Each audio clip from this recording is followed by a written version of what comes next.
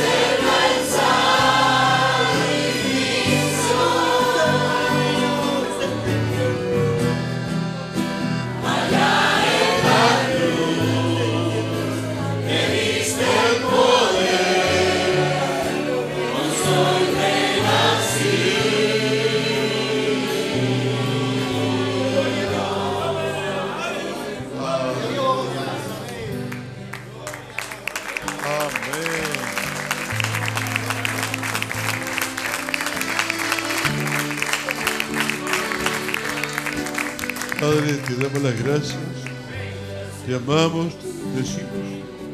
Porque tú eres nuestro amparo. Tú eres nuestra fortaleza.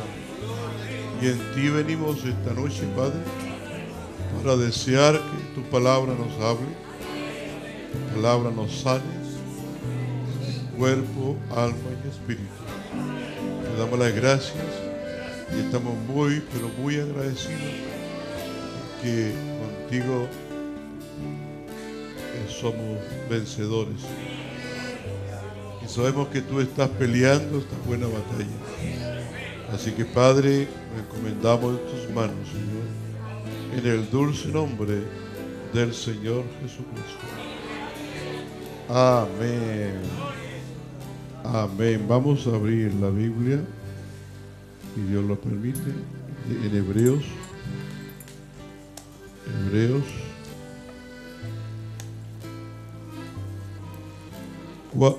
Hebreos 5.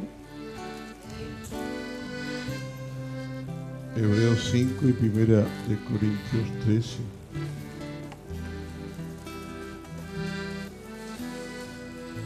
Aleluya.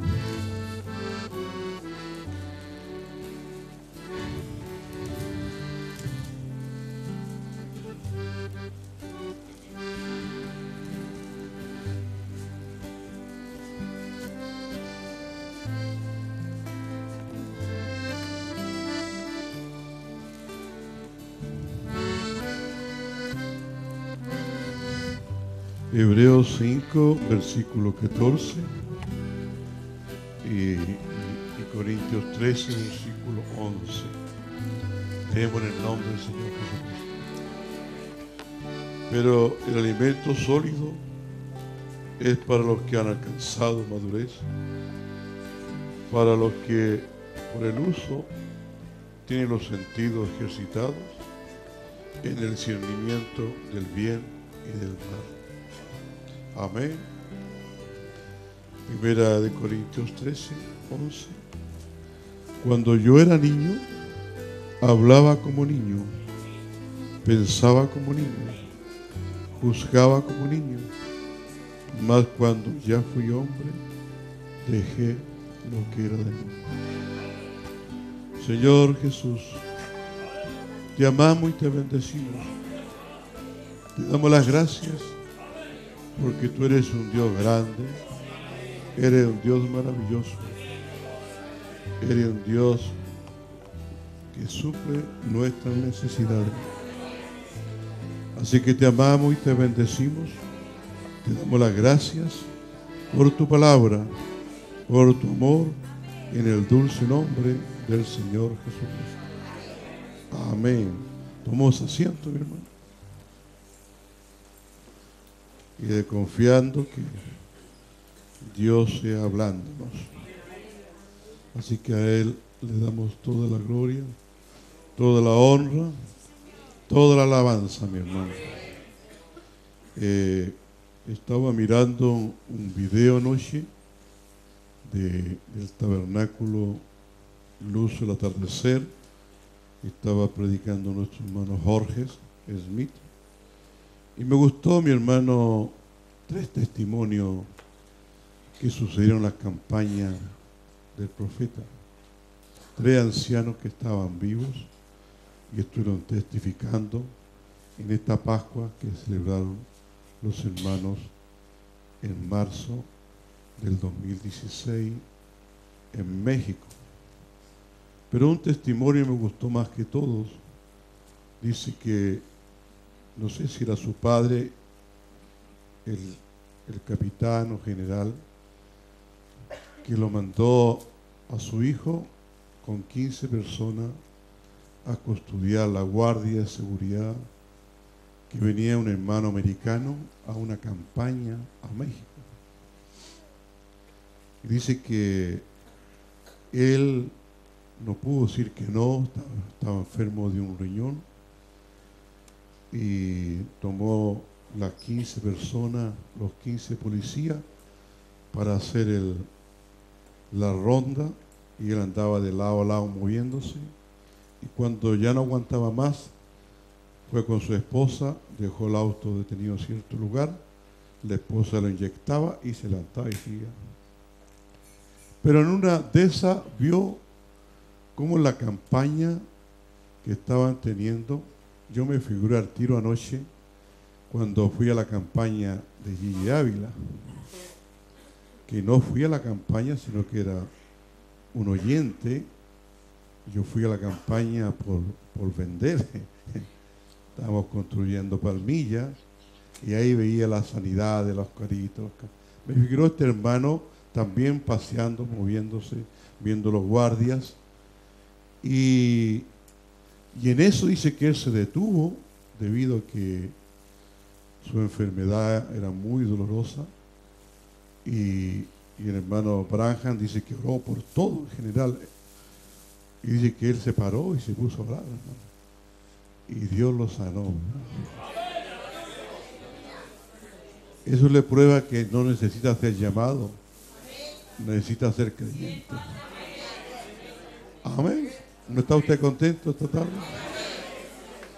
Nosotros necesitamos ser creyentes. Amén. Creyentes porque eh, los 30 hermanos que pasaron el domingo tienen que creer que ya han sido sanados. Y estaba viendo un mensaje un profeta como Moisés del año 59, dice, yo no soy un sanador divino, yo soy su hermano. ¿En cuánto lo creen así? Yo sí creo que Dios cumple la promesa. Y si Dios viene en esta noche y cumple esas promesas para mostrar que Él está vivo que nuestra religión entonces no es algo en vano. Amén. Y ahora la razón que yo creo en esta iglesia, la iglesia del Espíritu Santo, es porque Jesús ha de haber sabido cómo establecer una iglesia. Amén. ¿Cuánto lo creen? Y Jesús dijo que las obras que él hizo la iglesia que creyera en Él haría las mismas obras. Amén. Así que por lo tanto usted está aquí sentado, usted está creyendo, los que viene creyendo recibirán. Pablo dijo, si entra uno o entre dos y todos hablan en lenguas y y, no hay interpretación, dijo él, el incrédulo dirá que ustedes están locos. Pero si uno habla profetizando y revela el secreto del corazón, en todo, e, todo ellos se postrarán y dirá que Dios está con ustedes. ¿Cuánto lo creen? Porque este no es una cosa de loco. Amén. Por eso que Pablo puede decir, si uno habla lenguas y, quizás puede frenar ese don y esperar que el otro hable, porque si todos hablan a la vez, dice el incrédulo, el que viene de afuera, va a sentir una cantidad de voces y dirá, estos están locos, están chiflados, no saben dónde están, pero si uno hablara y otro profetizar, habrá discernimiento. ¿Cuánto lo dan gracias, mi hermano? Le damos la gloria, le damos la honra, le damos la alabanza. Mi hermano decía a mí, el primer hermano que testificaba, que era tan grande la cantidad de gente que llegó a esa campaña, decía que tuvieron que subir a su siervo y bajarlo por el techo a la reunión. Y él decía, este anciano, a mí nadie me puede sacar eso de la cabeza. Era Dios sanando. Yo me imagino cuando los apóstoles hablaban, decían, nosotros somos testigos. Entonces yo miraba y lloraba y decía, nosotros tenemos que llegar a la misma condición. a ser testigo de que Él está vivo.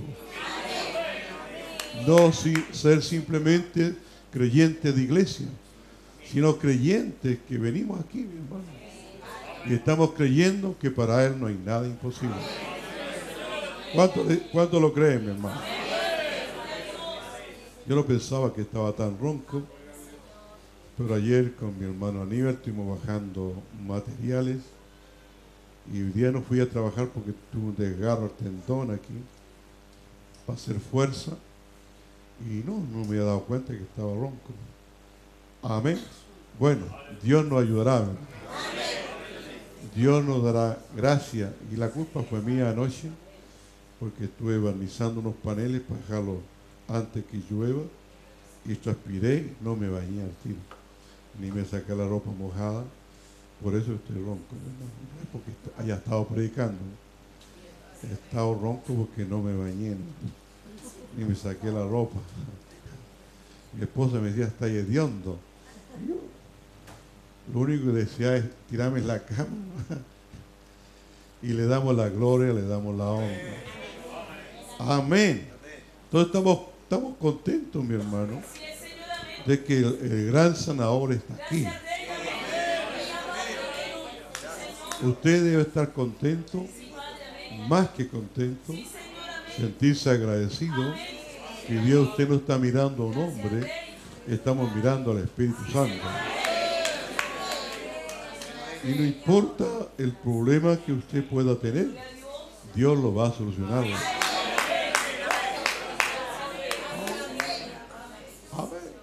No importa, Amén.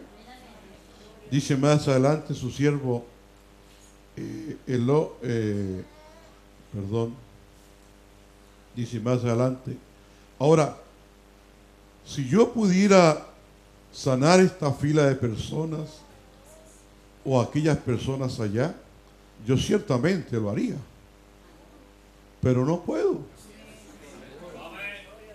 Amén pero no puedo. Pero la causa, la razón que no pudiera, es porque ellos ya han sido sanados.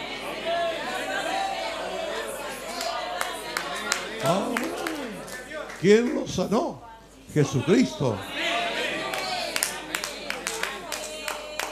Ahora se requiere que nosotros estemos creyendo y poner por obra su palabra. Porque Dios no importa, no importa hermano, no importa qué cosa no hayas podido vencer. Lo que tiene importancia en esta noche, que tú creas que vas a vencer.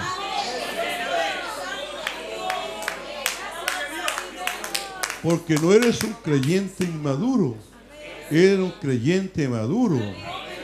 Ya no eres un niño mimado, sino que ahora eres un niño adulto y estás creyendo que lo que Dios comenzó, Él lo va a terminar. No, eres un creyente mimado que tiene que darte palmaditas, que tiene que ir a sobarte el lomito. No, eres un creyente creyente. A ti te vayan a ver o no te vayan a ver, te da igual. Pero tú eres un creyente de Dios, mi hermano. Amén. Amén. Entonces, cuando nosotros estamos aquí en este lugar, venimos con ese propósito. Ese propósito tan grande y tan maravilloso que Dios tiene para con nosotros, que Dios no te va a dejar así como está. Dios va a derramar lo que nos falta. Pero el creyente, hermano, me trae en la comisión de Josué, se me. Pero el creyente, mi hermano, que está aquí, tiene que estar creyendo. Que en esta misma hora Dios va a bajar y le va a dar la fuerza. Le va a quitar toda esa niñería y lo va a hacer un cristiano adulto. Un cristiano que puede comer comida sólida. Un cristiano que puede comer por otros puede comer lentejas. Amén. No va a comer solamente papas fritas o huevos fritos. Este creyente nació para comer comida sólida.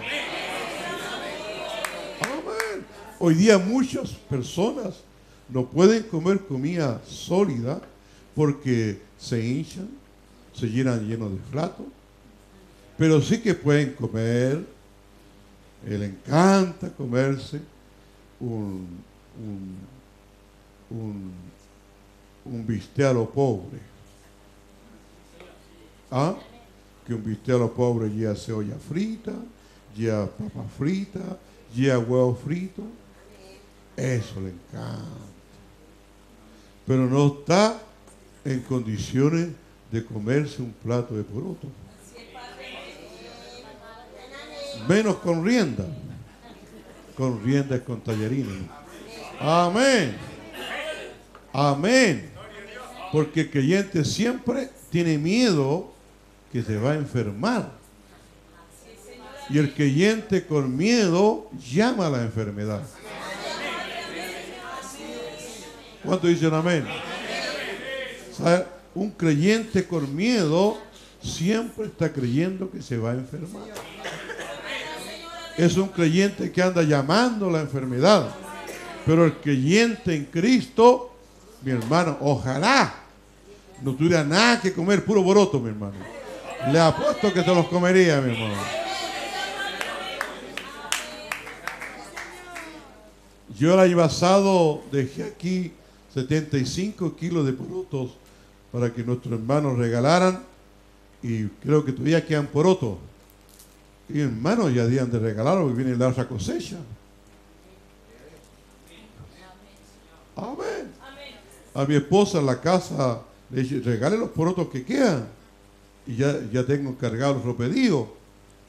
Entonces, significa que nosotros no queremos comer comida firme pero sí queremos comer carne. Eso sí, pues, queremos comer pollo almidonado. O queremos puro comer pollo frito, lleno de, de, de, hormonas. Amén.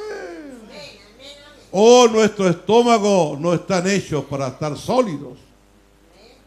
Por cualquier cosa nos hinchamos, nos enfermamos. No podemos comer este asunto de coliflor. No podemos comer una cierta comida. No, no, por mano, porque siempre tenemos miedo. Y nos estamos creyendo que Dios es nuestro sanador. Amén. Y a veces el cuerpo necesita cierta vitamina y no se las damos. El culpable no es Dios, el culpable es usted, mi hermano. Por eso que cuando el pueblo de Israel cayó bajo eh, el reinado de, de, de, Nabucodonosor y, y, y el rey vio que estos jovencitos creo que tenían 12 años, 11 años, 12 años. Ellos se pararon del lado de la palabra y les mandó un eunuco porque los vio que venían bien preparados. No, eran, no eran jovencitos que no sabían, no sabían las cinco manifestaciones de Elías. Puede que aquellos jovencitos que no sepan de las cinco manifestaciones de Elías y estén cabeceándose no saben la, posición y el tiempo. Va. ¿Cuántos lo creen? ¿Cuántos dicen amén a esta hora?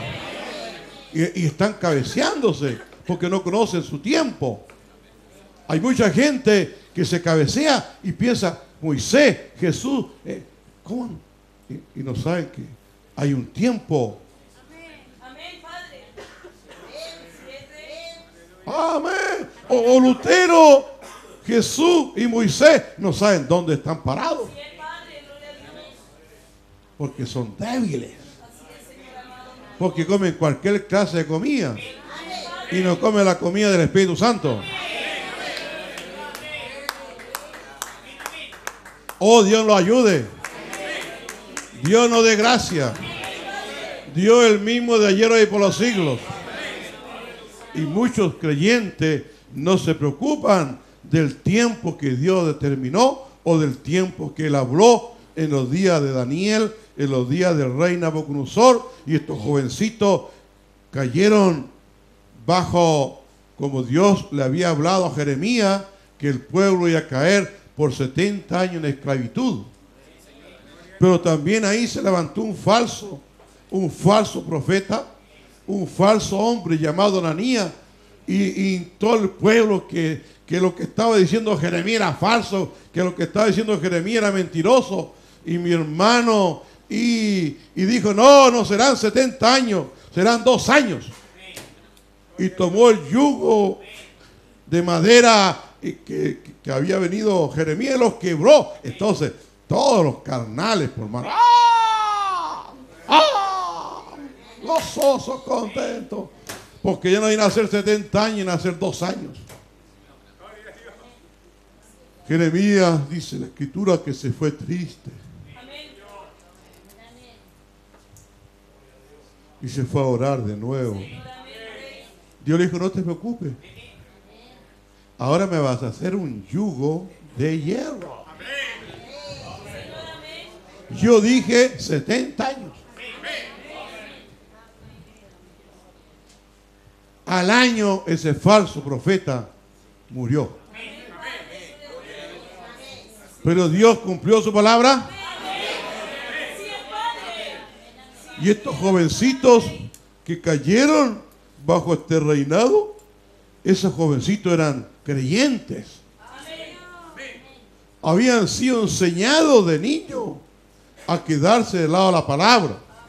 Como yo le dije tiempo atrás, yo vi a Israel, mi hermano, familias completas. No todo Israel, por supuesto, pero vi familias completas en sus cuartitos, mi hermano, seis, ocho, diez hermanos, leyendo la Biblia, leyendo el Torah. Y ahí, mi hermano, estaban parados, estaban leyendo y estaban moviendo. De la mañana hasta la tarde, todos los sábados para ellos sagrados. Lo cual aquí para muchos de nosotros que dejamos sagrado el día domingo, el día domingo a veces llegamos atrasados, llegamos dormilones, llegamos con sueño, cuando debería ser el día más consagrado que deberíamos tener. Porque es el día que debemos honrar la resurrección. El día que debemos estar esperando que Dios en un abrir y cerrar de ojos nos va a transformar. Y muchos llega a dar pena verlos cabecear, llega a porque el día asado no se preparan. Prefieren estar viendo una película, prefieren estar en internet, prefieren estar jugando, pero lo más grande, lo, lo, más que le va a dar vida, que es la palabra, mi hermano.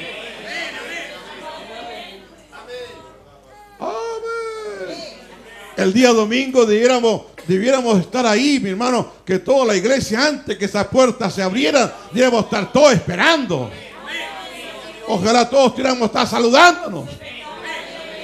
Porque queremos llegar a una iglesia unánime. Oh, ya no me están diciendo mucho amén todo. ¿No desea usted una iglesia unánime? Que lo que vengamos pidiendo lo recibiremos.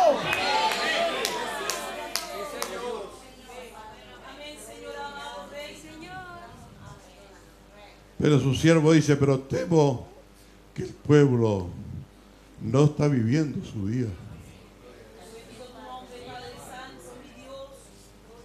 El, tiempo de la mente lo está sacando afuera. El tiempo de la fiesta. El tiempo del cumpleaños. El tiempo de esto. Pero lo que, lo que realmente, amén, debe estar esperando. ¿Qué debemos estar esperando? Que en un abrir y cerrar de ojos nuestro cuerpo no va a ser transformado. Más bien, dice su siervo, nos estamos comportando como niños. Nos estamos comportando como la misma clase de gente que ellos fueron esos creyentes en el desierto. En el desierto ellos vieron al Dios de maravilla, vieron los milagros que hizo y tan pronto como vieron los milagros estaban dudando. Vieron como Dios usó a Moisés y, tan pronto los puso en un aprieto, ya, ya, ya querían regresar al mundo. Ya querían regresar a su casa. Ya querían regresar a Egipto. Tan pronto estaban pasando hambre, una necesidad, al tiro. Oh, no estábamos mejor en Egipto. No te digo que este fue un falso. Es la misma condición hoy, mi hermano. Dios es el mismo de ayer y por los siglos. Por eso es que hay muchos que se están comportando como niños y no como adultos. Amén. Dicen amén. Le damos la gloria. Amén. Le da la honra. Le da la alabanza.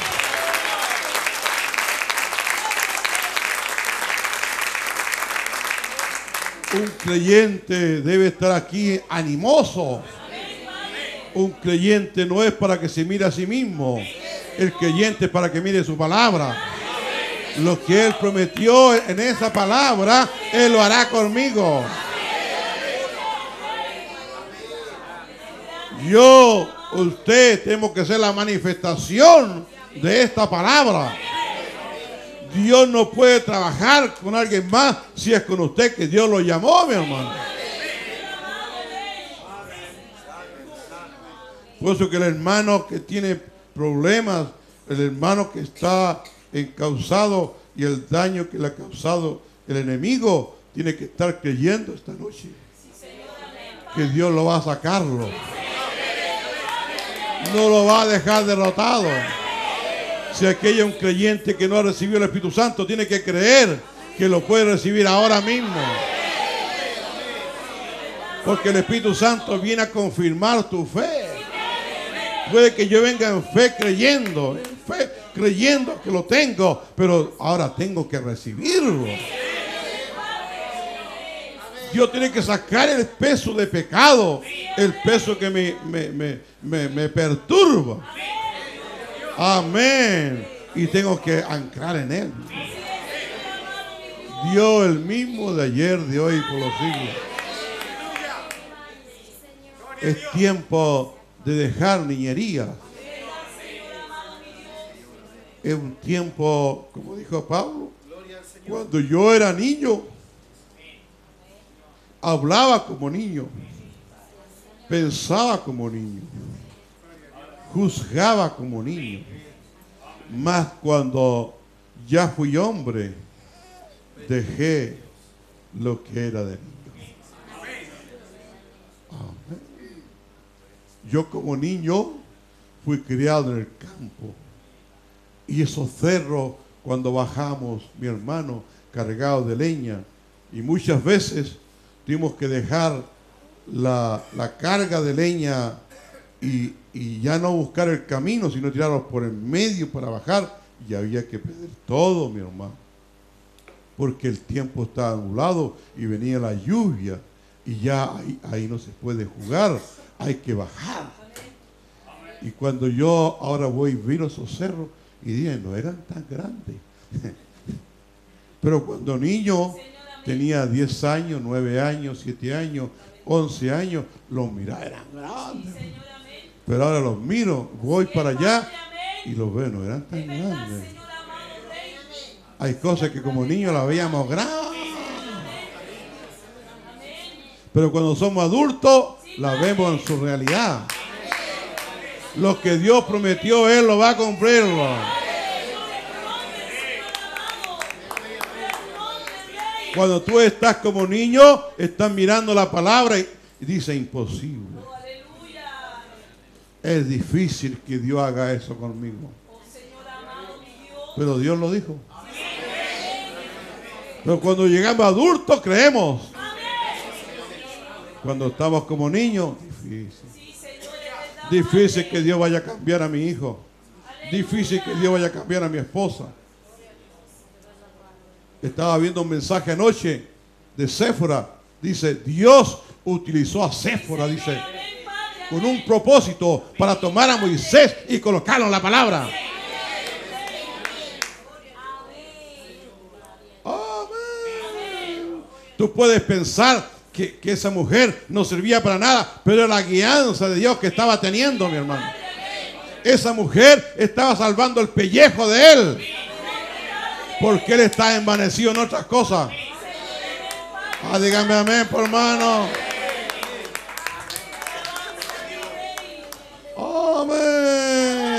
Esa mujer Dios la tomó para sacarte carácter, porque dice, dice, dice su siervo, porque Séfora era de un carácter fuerte. Y también dice, Moisés era de un carácter fuerte. Pero llegó el momento dado que esa mujer estaba enlineándolo. Y quizás tú puedas expresarte mal de tu mujer. Puedes expresarte mal de esa mujer que Dios te dio. Y esa mujer te está colocando en el camino. Cuán agradecido debemos estar por eso. Pero debemos darle gracias a Dios, mi hermano. No sé que cuando, cuando Séfora se dio cuenta que Moisés no había eh, circuncidado los niños o el niño, mi hermano, y bueno, después lo circuncidó ella misma y le digo, tú eres, tú, tú me eres un esposo de sangre. Así que usted puede hablar de su mujer, puede hablar mal y Dios estaba, era, era Dios lidiando con ella para alinear al hombre, para meterlo en el centro. Oh, mi hermano. Oh, mi hermano. ¿Por qué siempre andas pensando mal de tu esposa o de tu mujer? Oh, lo siento, hermano. Oh, ¿No lo cree así? Es que siempre estamos machistas, mi hermano. Somos legalistas. Y es Dios lidiando. Porque Dios quiere que ese hombre entre. Oh, amén. Ah, ah, Dios quiere que ese hombre ya no sea más niño. Él sea un adulto. En vez de decir gracias Señor por la esposa que me das. Porque ella me saca lo que yo no puedo dar. Gracias por la esposa que me das porque tiene un carácter fuerte. Y realmente yo me tengo que dar cuenta que a veces uh, le metí. Pero Señor, saca esto de mí. Oh.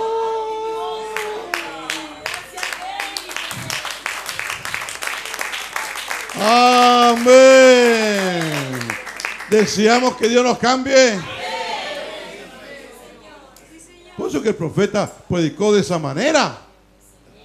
Y tomé un viernes, creo que fue aquí. Oh, Dios, necesitamos una céfora. ¿Se acuerdan? Eso lo dice el profeta en los mensajes, no recuerdo qué mensaje. Amén. Pero no hacemos los tontos, pues mi hermano. O escuchamos la palabra, estamos sentados y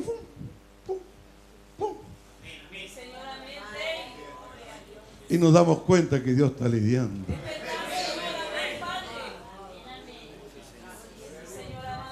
Cuando el creyente debe estar las 24 horas alerta. Amén. El creyente está más lo que pasa en el gobierno, lo que pasa en la política, lo que pasa en el ministerio, lo que pasa en la economía, pero no habla tanto de Dios. Dice su siervo y debemos estar esperando todos nosotros su segunda venida.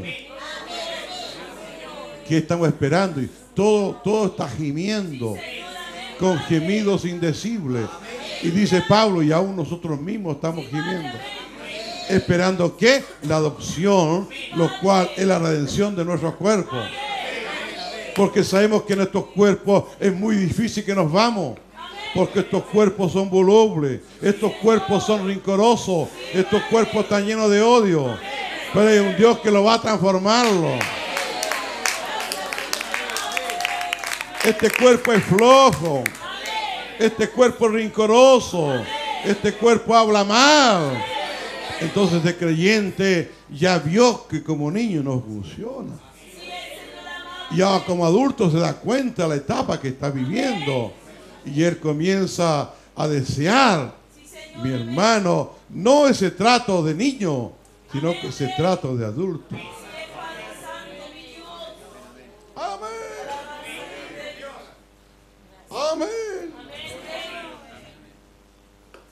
Ahora, él está hablando a los cananitas espirituales, Israel. El Israel espiritual, quien ha poseído la tierra. Dios lo sacó de esta tierra del desierto y lo metió en Canaán, en la tierra del Espíritu Santo. Dios te sacó a ti del mundo y te metió en la palabra. La palabra en nuestra tierra.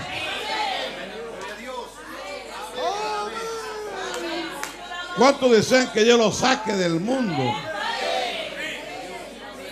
Amén. Lo saque de toda cosa mundana y lo meta en la tierra del Espíritu Santo. Y sepa que él ya no es niño. Él es un adulto. Oh, no están contentos de que ustedes han, salido de los ajos de Egipto. No están contentos de que han salido del desierto. Y recuerden, ellos tenían que comer maná. Y quizás 40 o 50 años Dios le estaba alimentándole. No, no tienen que hacer ningún esfuerzo por trabajar. No tienen que hacer esfuerzo por nada. Dios les daba todo. Pero ahora cuando entraron a Canaán, entraron a, trabajar. Ah, entraron a esforzarse. Entraron a comer el fruto el cual ellos tenían que producirlo. Amén. Oh, dígame amén esta noche. Y recuerden, ellos tenían que comer maná, alimento de ángeles que procedía del cielo, hasta que ellos cruzaron la tierra. Y cuando cruzaron la tierra, el maná cesó de caer. Ya no había más comida. Ah. Amén. Entonces, ve, y cuando ellos cruzaron la tierra, el maná cesó de caer. Entonces estaban completamente maduros. Amén. Ya eran creyentes que no había que decirle que ore, por más. Ellos sabían que tenían que orar.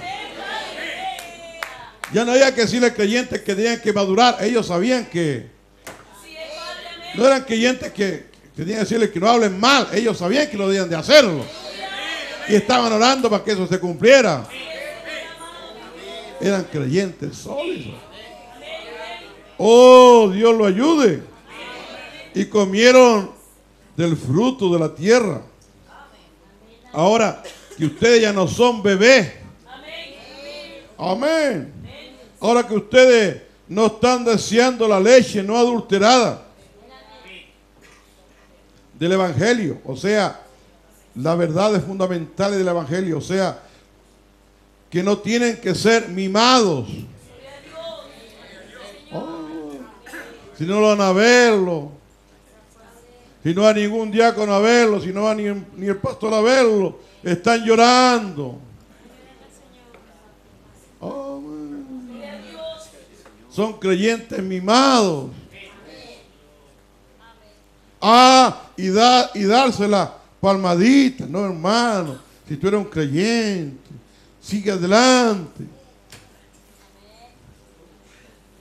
Como dijo mi hermano, aquí está mi hermano presente, mi hermano, ya me acordé el nombre de él, dijo, Dios me dio un amuleto, porque andaba extraviándome un poco hacia afuera.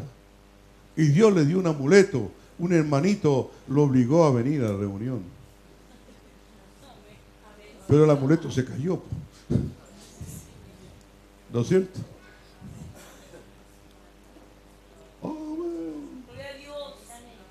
el amuleto se cae. Hay que dejarlo de lado. Aquí no es el amuleto tu esposa. El amuleto aquí tiene que ser Cristo. Por eso que digo yo, muchos hermanos a veces no viene el esposo y la esposa no viene. Papá y mamá no vienen, los hijos no vienen. Y este evangelio es individual. No es con amuleto. Cada creyente tiene una responsabilidad. Si la hermana ve que su esposo no viene, ella parte. Ella viene a congregarse. Pero si ella va a adulterar, el esposo la puede poner en, en línea. Pero si ella viene a congregarse, no tiene ningún derecho el esposo a decirle que no venga. Porque su esposo es Cristo.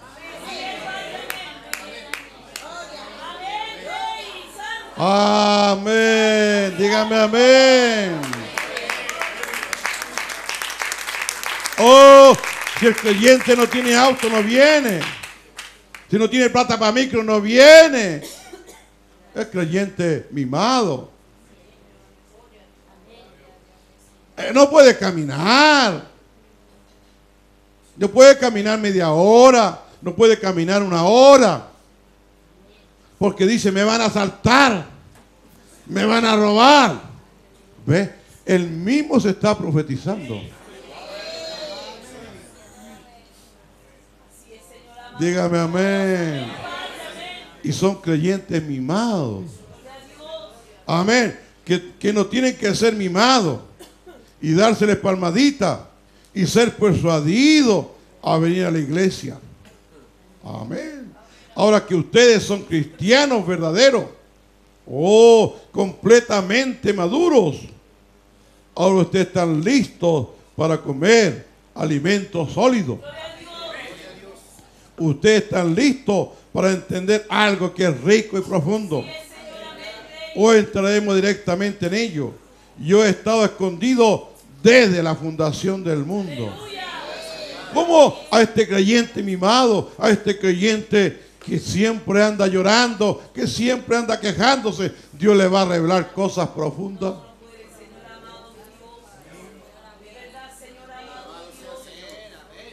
Dios quiere que seamos creyentes sólidos. Tuvo un problema con la esposa y ya se sintió, se decayó, hermano. Es voluble, le entró depresión.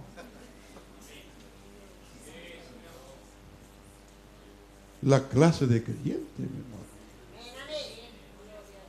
Yo no, yo- Dios no, ne- no necesita esa clase de creyente. Dios quiere creyente sólido. Creyente firme. Oh, pero a algunos creyentes les gusta que los mime la esposa. Les gusta, mi hermano. Afeminados. Amén. Pero Dios no agarra aquí, mi hermano. Oh, dígame amén esta mañana, esta noche. Oh, dice. O entraremos directamente en ello. Yo he estado escondido desde la fundación del mundo. Él dijo, ahora que ustedes han, entrado en esto, estoy diciendo esto a ustedes, no a aquellos que acaban de salir de Egipto, no, no a aquellos que aún están en la jornada, eh, pero aquellos que en la tierra prometido, prometida, que han recibido la promesa. Ese creyente que ha recibido la promesa y cree que lo que Dios le ha prometido, él dirá amén. Regará esa palabra con un amén. La regará con un gloria a Dios. Levantará las manos y dirá, es la pura verdad, Señor. Hombre. No, no, no, no hay que ir donde ese creyente, mi hermano, y tomar un cincel, mi hermano, para, para, para, para, eh, ¿cómo se llama? Para, para soltarle hielo que lo tiene aprisionado. No, ese creyente nace. Ese creyente no está mirando su problema. Él sabe que ya Dios lo solucionó. Ese creyente no está mirando su enfermedad. Él sabe que ya fue sano.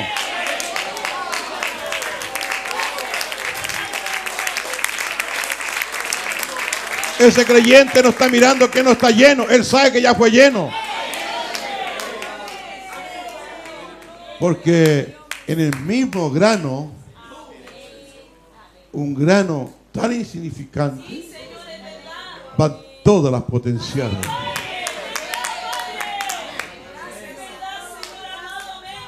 Amén. Oh, y, y quizás un grano viene predestinado para ese grano producir quizás 50 granos o 100 granos.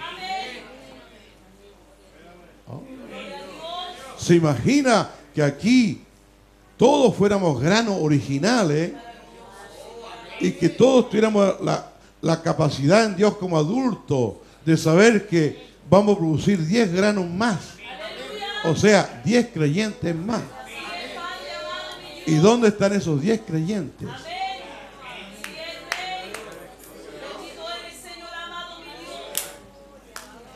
Ay, ay, ay. Dios tiene que sacarnos de la niñería. Y tiene que sacarnos lo mimado y darnos cuenta que Dios nos colocó para algo aquí en la tierra. Para testificarle a otro. En ese grano van todos los potenciales. Pero en cambio el híbrido se mezcla con el original y con esta sustancia que ellos tienen, mi hermano, y, y- viene predestinado ese híbrido para solamente sembrarlo un año. Y, cuando lo siembran, hermano, es tan potente, mi hermano, es tan hermoso y es tan grande y es tan hermoso su fruto que al, al original lo deja apagado. Pero resulta que da fruto un año nomás, por favor. Y luego se apaga. Es como muchos creyentes que llegan al principio, amén, gloria a Dios, y después están apagados.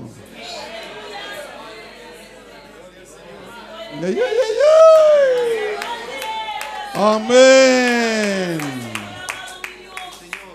Pero el creyente original seguirá.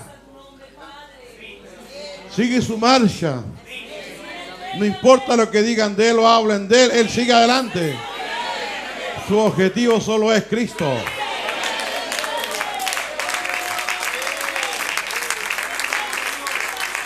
Amén. ¿O lo cree? Tenemos un solo objetivo, mi hermano. Es que ese creyente está mirando que lo que Dios dijo en su palabra, en él tiene que ser real. Y mientras en él no se refleje, no viva lo que su palabra dice, él sabe que no está bien. Amén. Amén. No, no- significa que va a vivir la palabra que es pastor. No significa la palabra que vive la palabra. No, si estamos hablando de creyentes. No estamos hablando de dones. Una persona puede tener un don para testificar, un don para hablar, un don para orar, un don para sanidad divina, pero resulta que no vive la palabra. No todo el que me dice Señor, Señor, entrará en el reino de los cielos. Pero el Señor dice milagro. Yo no conocí. Obrero de iniquidad. Yo te quiero decir a ti, cuando tú mencionaste mi palabra, yo tengo un compromiso con mi palabra. Pero tú no estabas viviendo mi palabra. ¿Cuántas veces le he hablado aquí a ustedes? Cuando yo pertenecía al grupo Sana Divina de la iglesia metodista, mi hermano, y orábamos por enfermos y sanaban. Y un día me tocó orar por Flores Flores, con una enfermedad de la cabeza, mi hermano. Y mi hermano, y, y testificándole sanidad. Y cuando me dijo, ¿por qué no ora por mí? Y yo transpiré como chino. Y ahí en mi mente, en mi pensamiento, dije, Señor, tú sabes que yo no vivo tu palabra, todavía fumo. Pero este hombre me pidió que ore por él. En mi mente, no hablándolo en mi pensamiento. Pero Señor, obra tú, Señor. Y el hombre sanó. Y después de cuando, cuando no me veía nadie, tomaba el cigarrito, mi hermano, y me iba. Y una desesperación, mi hermano, me escondía.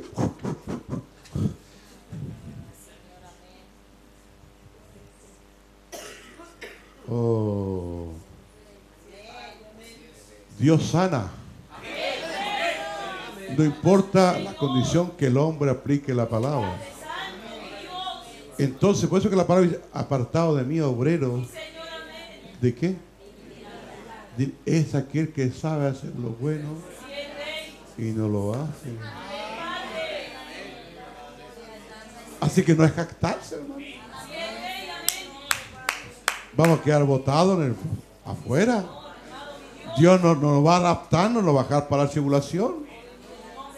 Porque no estamos viviendo toda su palabra. Pero que Dios responde, Él responde. Él tiene un compromiso de responder por su palabra. Pero Él le va a pedir cuenta a ese hombre, a usted o a mí. Estamos respondiendo. Si hay vida. Por eso que algunas personas, ah, no, si lloro por enfermo y sana. Pero tu vida. Entonces Mateo 7 lo pasan por alto. No todo el que me dice Señor, Señor, entrará en el reino de los. Sino aquel que hiciere que mi voluntad. Y Dios quiere que tú y yo vivamos la palabra. La hagamos parte. Que yo en esta tarde no sea una trompeta dando un sonido incierto. Dios quiere que esta tarde lo que le estoy hablando sea verdadero. ¿Cuánto lo deseamos? Por eso es que muchas vidas no tienen, no, no pueden avanzar en su vida espirituales, porque cuando le están hablándole a otro, hay mezcla. Hay palabra, palabra genuina y la mezcla es lo, que el hombre no vive. Entonces está presentando una palabra híbrida. Por eso que no progresa. Por eso que habla y no, no, sucede nada. No hay ni un crecimiento para nada. Oh, oh iglesia del Dios viviente. Que ojalá esta noche pudiéramos pararnos la palabra. Y que Dios saque todo lo híbrido de mí, mi hermano.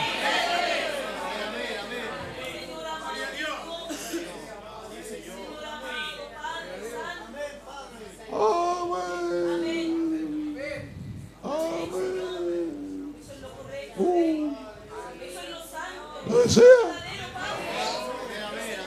Lo desea con todo su corazón. No que, no, no, que usted se sienta contento que ha sido llamado, escogido, sino que esa palabra, ser parte de esa palabra, ser el reflejo de esa palabra. Como dijo aquel hombrecito curado, dijo, y están hablando mal del Evangelio. No, no, no, le dijo, ustedes están equivocados. Yo tengo una, una cristiana que lo que ella dice lo vive. Nunca me contesta.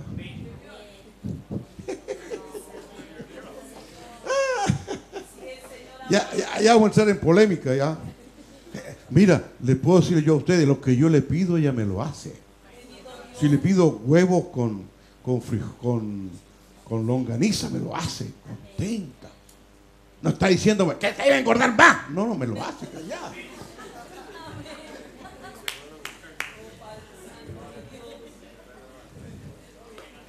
Amén. Mira, ustedes, ustedes no están creyendo y están hablando mal, pero vamos para mi casa, dijo. Y llevó los dos varones a, su casa. ¡Vieja! ¡Ah, igual con, con, con tocino ya. Se me olvidaron los nombres, hermano. Amén. No te grité muy fuerte. Esa mujer corrió, mi hermano. No dijo ni una palabra. Ni, se enojó porque ya dos curados más para la casa. Ni se enojó porque le ensuciaron el piso. Porque algunas se enojan. Me acordé de un mensaje que estaba escuchando sobre ensuciar el piso. Que Moisés no tenía modales. Cuando estaba en Egipto, él ensuciaba el piso y distraía al mozo limpiándolo. Pero su esposa le enseñaba modales. Límpiate los pies. Y él seguía haciendo las cosas a su manera. Y cuando llegó a la presencia de esa salsa, lo primero que le dijo, quita tu sandalia.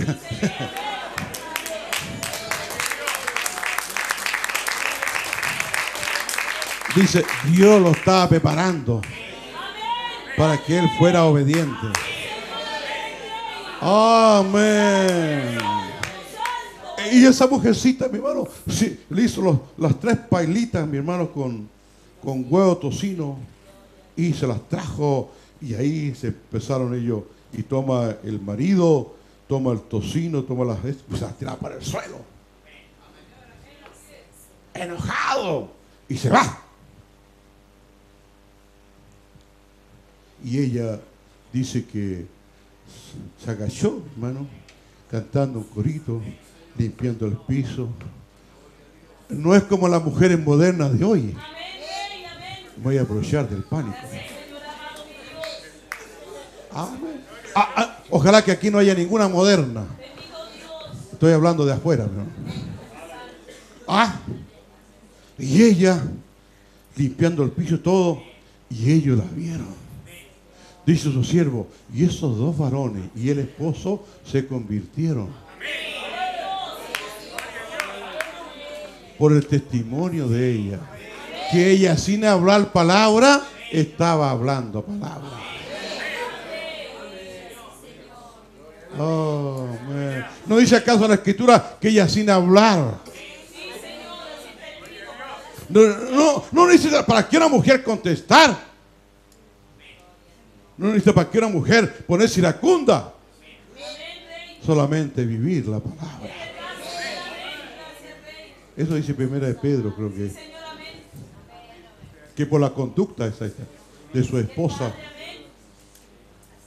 algunos son ganados. Hay fruto. Ahora, ¿qué fruto hay en nosotros?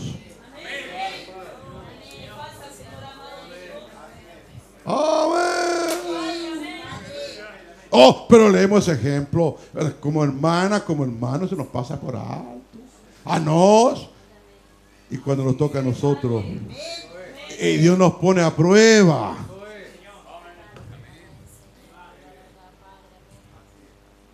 Más encima, la mayoría de nosotros vivimos en casas pareadas que se llaman. Eh, una, una muralla separa a otro vecino. Y todo lo que se escucha allá y acá se, Quizás cada vez que sale ese hermano con su Biblia y sale a, ca- a- a- no acaramelado, sino que eh, limpio y, la vecina lo está mirando. Mire ese hipócrita.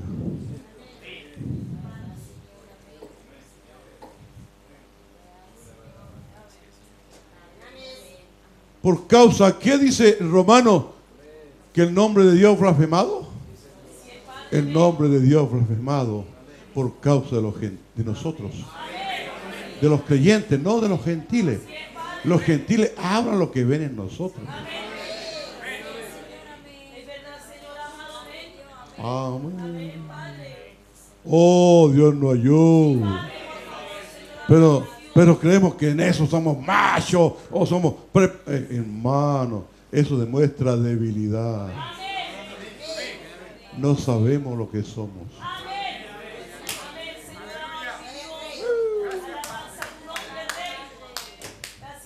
¿Cuándo están contentos, mi hermano? Ya no tengo mucha voz, así que denle gracias, mi hermano. Denle gloria. Denle alabanza.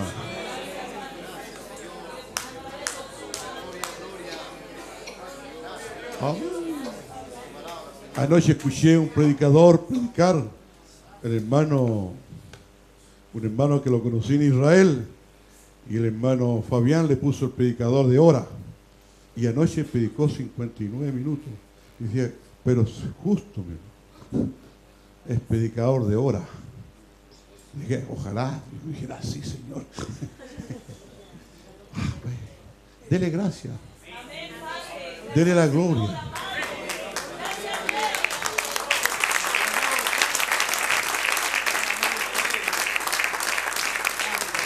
El domingo continuó, mi hermano. Que Dios nos ayude. Oh, debo ser muy agradecido. Oh, debo estar muy contento, mi hermano. Amén. Dios no ha fallado. Somos nosotros que hemos fallado. Aleluya. Te amamos, Señor. Señor, tuviste el domingo, Señor, que pasaron como 30 hermanos. Oh, me sentí tan débil, Padre, que en una de esas casi me caigo. No tenía fuerza en mis piernas, Señor. Te doy gracias, Señor Jesús. Permite que esos hermanos y esas hermanas que estuvimos orando por ellos, oh, ellos puedan tener una sí, dice el Señor. Que tú lo has sacado a flote, Padre. Lo has sacado de sus niñerías y le has revelado que tú vives, que tú eres el rey, que tú eres nuestro rey soberano. Oh, te damos gracias, te damos la honra, te damos la gloria, te damos la alabanza. Alabado sea tu nombre, alabado sea tu nombre. Oh, alabado sea tu nombre. Alábele, mi hermano. Oh, dele gracias para que Dios saque nuestra ñería, Dios saque nuestra inmadurez y nos meta en Canaán. Oh, aleluya. Para comer comida fresca, comida no adulterada, sino que sea comida para adultos, Señor. Oh, que tu gracia nos ayude y podamos seguir mirando estas cosas que tú predestinaste para nosotros. Señor, te damos la gracia. Te damos la honra. Te damos la gloria. Alábele, mi hermano. Dele gracia. Oh, sea muy agradecido. Muy agradecido. El gran conquistador ha estado aquí esta noche para hablarnos nuestras vidas para aparejarnos, para enderezarnos, para hacernos mejores cristianos que lo que hemos sido, Padre. Oh, aleluya. Alábele mi hermano y mi hermana. Aleluya.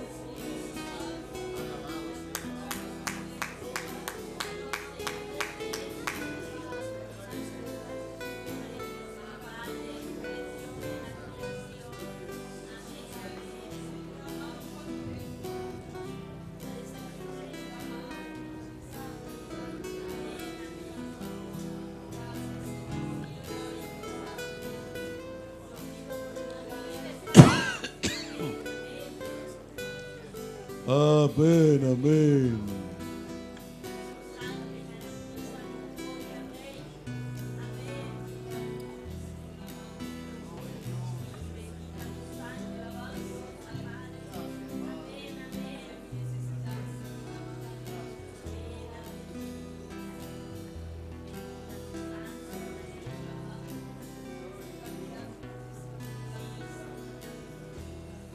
Cantemos ese corrido que mi hermano tanto canto. Aleluya. Gracias, gracias, Padre. Aleluya.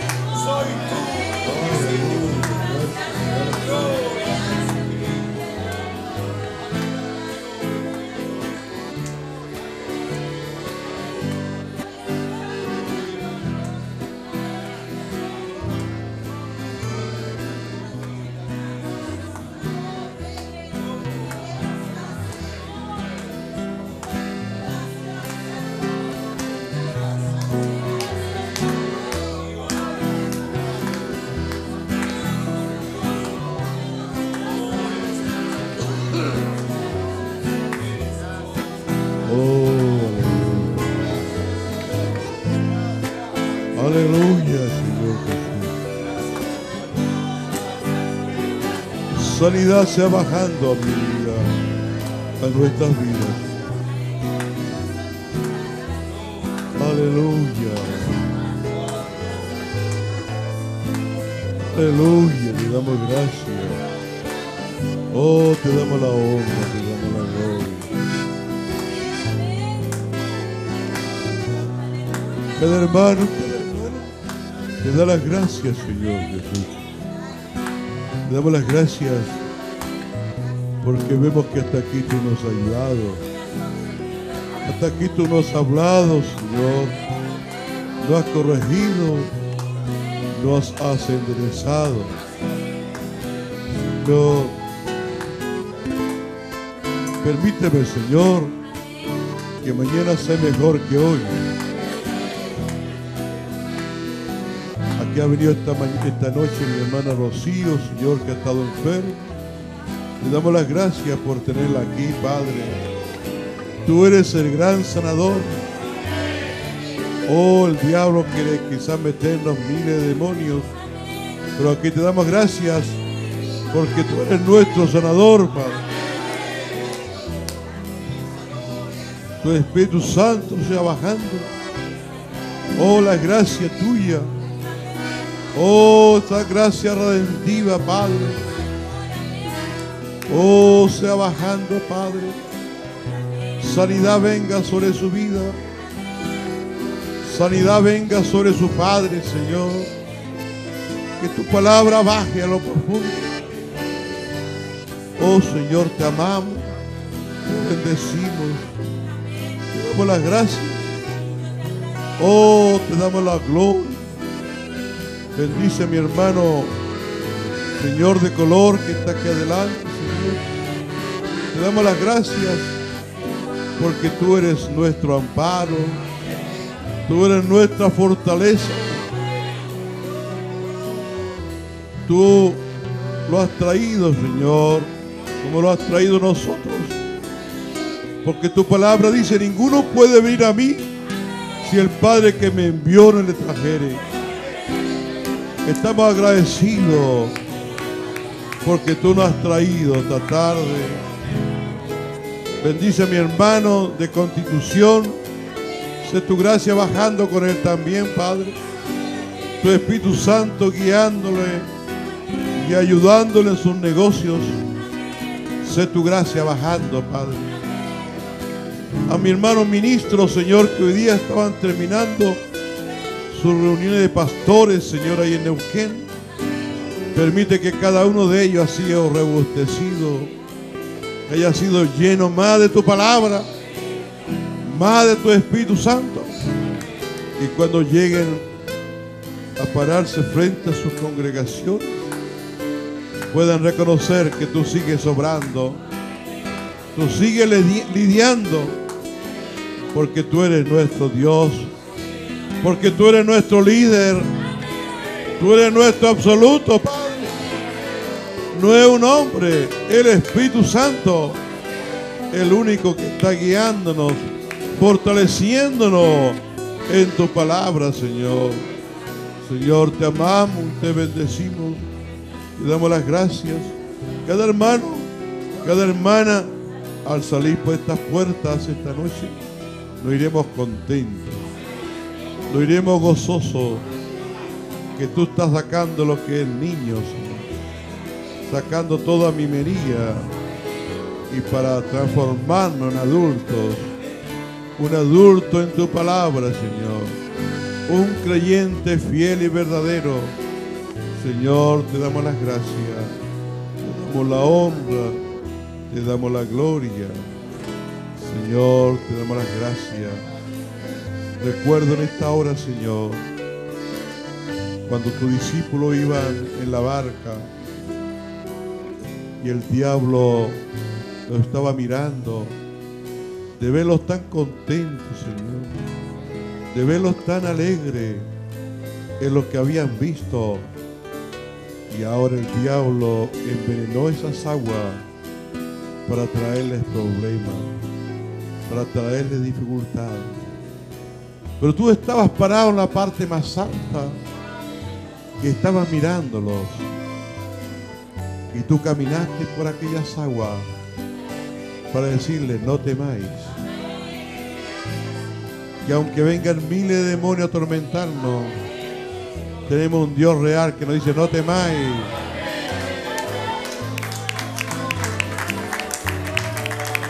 Así que te damos las gracias, porque no importa cuánto el diablo haya envenenado en estas aguas, no importa cuánto el diablo quiera atormentarnos, pero hay un Dios que nos dice, no temáis. Hay un Dios que nos está mirando. Hay un Dios que caminó por las aguas. Hay un Dios que puede estar aquí parado hasta misma hora, al lado nuestro. No importa el problema que tengas, yo te sanaré, yo te arreglaré, yo cambiaré tu vida. Mira, no te miren más, no importa cuánto susto tengas. Oh, pero Él se paró del lado de ellos. Oh, eres un Dios hermoso. Eres un Dios grande. Gracias, Señor, que en nuestras debilidades tú te estás perfeccionando.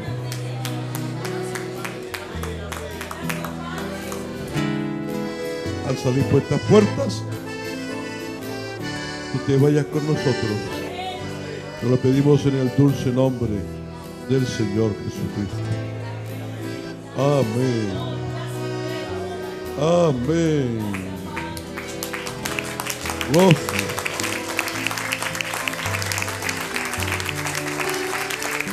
Oh, aleluya. Aleluya. Saluda a su hermano y a su hermana. Y lo iremos cantándole a él, mi hermano. Gracias, Señor Jesús. Gracias, Padre.